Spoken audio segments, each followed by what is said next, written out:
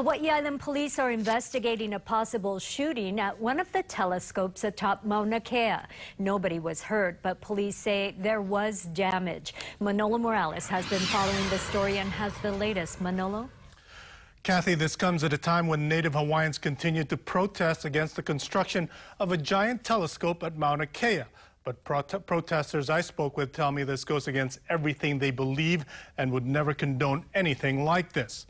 Now, police officers went to the site late Saturday night and saw what appears to be a bullet hole at the door of the observatory of the Subaru telescope, one of the 12 telescopes either at or around the summit of Mauna Kea.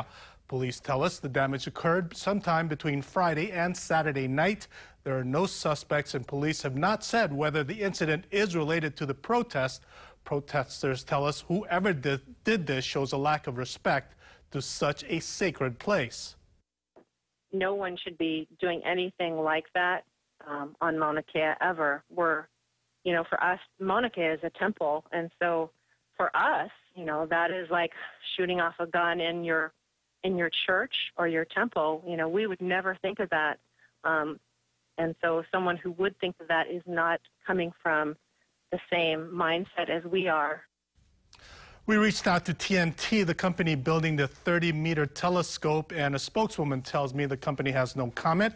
A spokesman for UH, which owns three of the telescopes at Mauna Kea, says the university will leave it to Hawaii Island Police to deal with the incident. Now, the Subaru telescope is owned by the National Astronomical Observatory of Japan, which has sent us a statement saying at this time they are cooperating with law enforcement. Their utmost concern is the safety of the people on the mountain, and they keep vigilant, vigilant watch while on that very special place. Manolo Morales, KHON 2 News.